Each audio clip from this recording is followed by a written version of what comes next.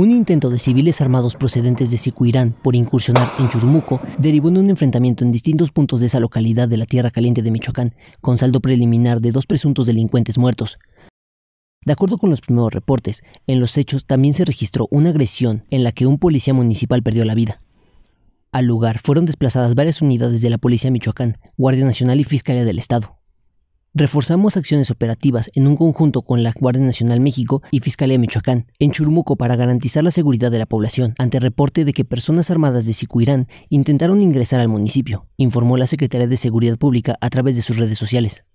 Indicó que ya se realizaron patrullajes y puestos de revisión en diversas zonas del municipio y localidades aledañas.